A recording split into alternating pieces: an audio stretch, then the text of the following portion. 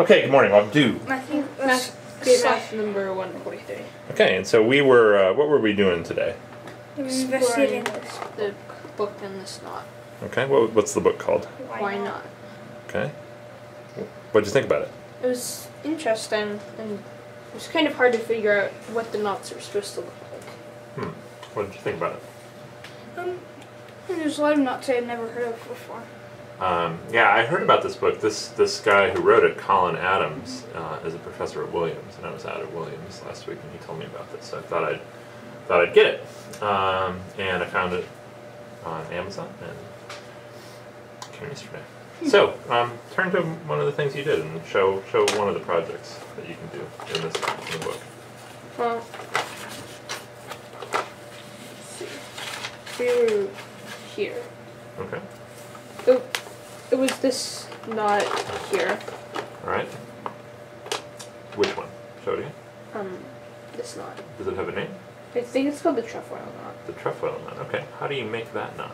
So you start like this, and then you go up, and the two things of string, the two ends cross like this, and then this one goes down, and this one goes up.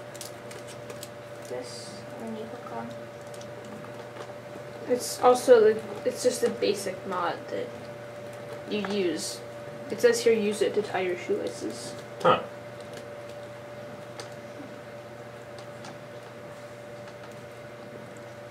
Need help?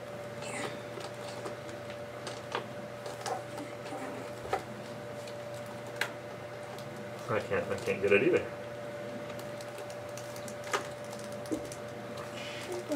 Huh, we weren't having any trouble before. Hmm. All right, hold on. Let's turn the camera off and we'll get it. We'll get it. Okay, so with the camera off, we got it. It's funny. We hadn't had any trouble before. Yeah. And turn the camera on, weird things happen. Okay, so what is it? What's what's interesting about this knot, or why was this a, a, be a fun un- example? Can't be unknotted. What is what does unknotted mean? So you can't turn it into like a circle. You can't turn it into the there's no crossing knot. Why There's not? always going to be some crossing. There's always going to be some crossing. Huh. All right, so that's pretty interesting. And you can deform it into this shape. too. Oh yeah, did you guys do that? No. Let's just see if you can. It looks like here you have to make four different areas. This would probably be the one in the middle. And then there's these ones here. So you have to feed it into here. But that makes three. And then there's this one, four. It's kind of warped, but there's that's what it looks like Where's the fourth arrow? in the It's right in center. Oh, I see. Oh, wow, good job. So let's see. Let's see if we can see which one this is. It goes.